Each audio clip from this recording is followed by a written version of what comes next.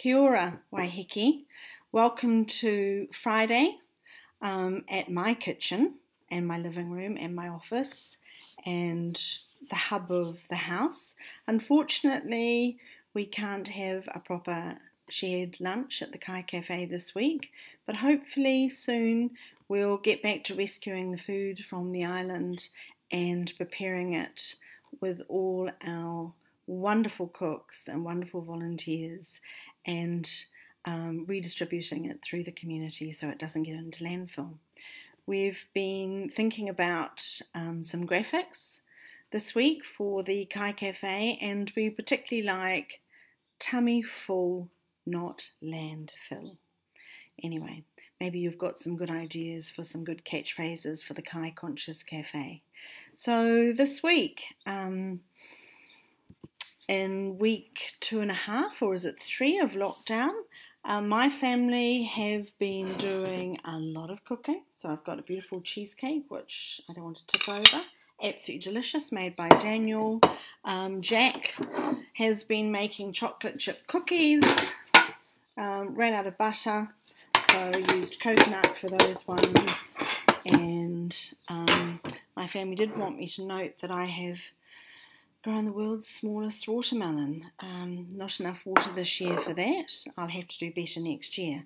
So it's also the week that uh, the week, the past weeks, Waiheke Resources Trust have been making a lot of online content, and some of you may have seen um, that Compost and Co. Prashanti has made a wonderful video on making EM, which can be a product that you'll use instead of Zing for your bokashi. So have a look for that one. Also, we've got a moth plant pod competition running.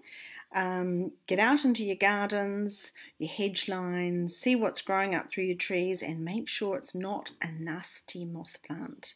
So the pods look a little bit like chokos. We've got a video on how you can identify them, and if you can pick them, take a photo, then you'll be in to win some wonderful products from the um, local businesses from the island.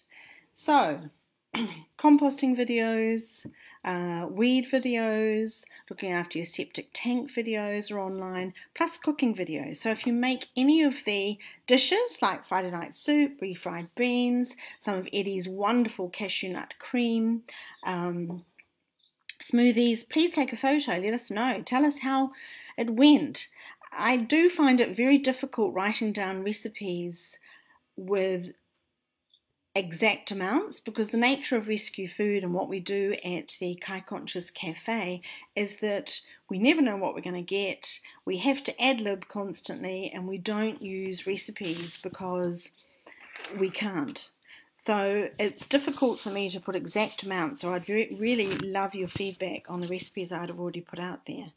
Another thing is, um, you know, it can be difficult in these days, particularly if you're by yourself or you're feeling quite frustrated because usually you're used to getting up at a certain time, going to work, being with other people, feeling very useful in whatever you do, and being part of a work social space.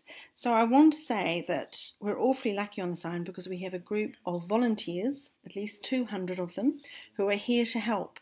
If you need someone to shop for you, if you need your guttering cleaned out, if you need someone to talk to. So the number for that is 09 889 7661. So 09 889 7661. Ring them up or perhaps um, tell your neighbour about them from a safe distance, of course, and let them know they're there to help. And we're so lucky to be on an island where other people are caring for other people. So, um, We've covered the moth plant. We've covered the fact that, oh, budgeting, by the way, is also picking up rescue food at the moment and distributing on Tuesdays and Fridays. Um, and that's at certain times in the day. On Fridays, it's between 1 and 2. But give budgeting a call uh, if you are finding it difficult to make ends meet. We are all in this together and we really have to help each other. Right, what else can I say except to um, perhaps have a little bit of that cheesecake and to hear back from you and see how you're doing. So, from us at Waiheke Resources Trust and Kai Conscious Waiheke, um, from the Project Loni Roa, from Compost & Co. I wish everybody very, very well and may you find the um, sounds of the birds in the morning and the fact that we live in such a beautiful place comforting at this time. Keep well.